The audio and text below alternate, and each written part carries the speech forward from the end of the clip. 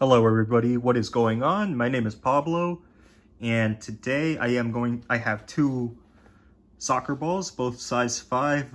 One is a FIFA, one has a FIFA basic rating and the other has a FIFA quality rating. One is bright yellow and blue, one is white and blue.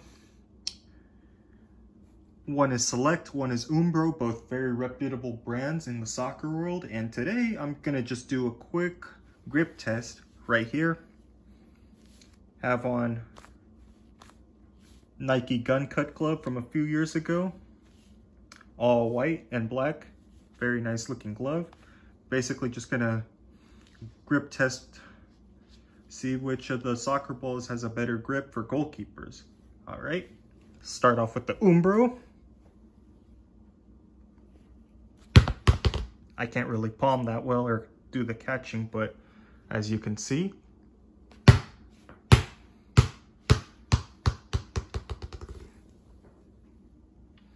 not bad. And as you could see, the texture on the Umbro soccer ball.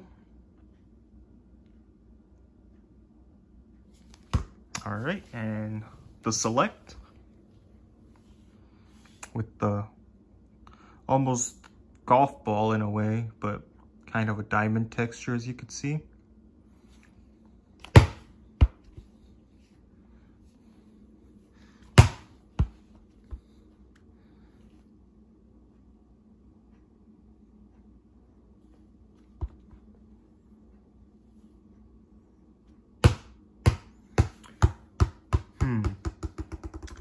I would have to pick the select if I'm being real. Let me try the Umbro one more time.